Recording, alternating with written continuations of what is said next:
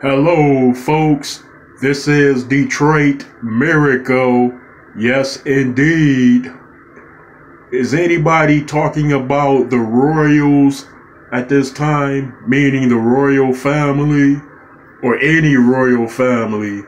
You know, that's the impact of the significance of their titles, their status, their immensities their heightened position, their their sense of authority, like all of those are self-contained within what they stand for, and they project that out into the people, and the people regard them as that.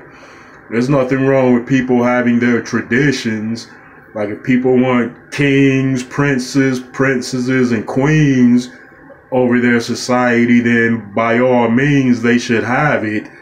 If that's what keeps with their tradition and their heritage and and the royals treat them right, treat them fair, treat them kind and give them every opportunity to become successful, then yeah, let the people have their royals. If the people want their presidents, prime ministers, whatever, and whatever else you want to call them, uh, then then by all means let them have that too if it falls in line with tradition.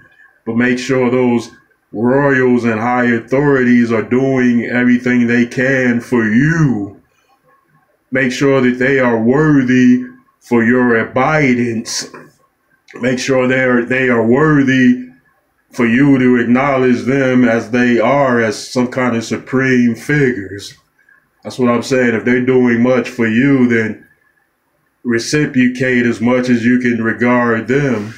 But if they're doing nothing for you, then rethink your whole situation and say, well, it doesn't matter if they have names like Count Dracula, you know, Lord Decor, uh, with um, Spinelli, whatever else they're called. Like it doesn't matter because they're doing not that much for me or they're doing nothing for me like each individual should make that determination on their own by analyzing that situation.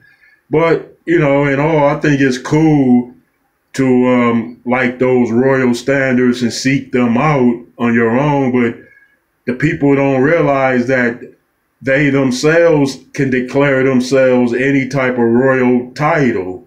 Yes, people, that is something they don't want you to know, re- realize, or comprehend. Every single family member can get a crest made of their household with all the members in their household and their immediate family. They could designate the highest authorities with the highest rank.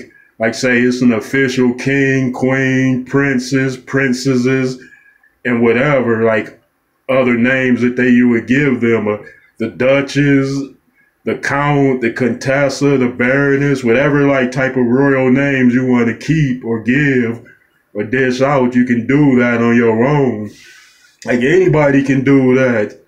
Anybody, you can put a title in front of your name. You could, you can name yourself whatever you want your name to be, and you can put a king in front of that name, a queen, and you can get that stuff notarized and um officially recognized as part of your name, people.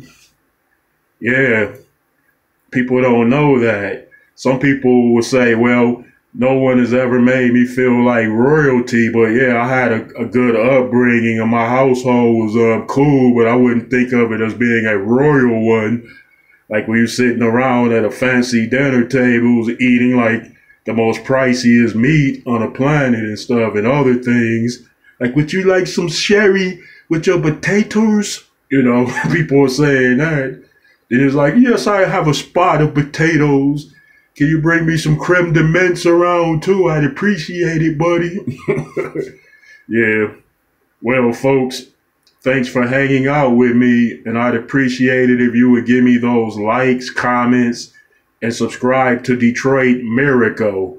Peace out.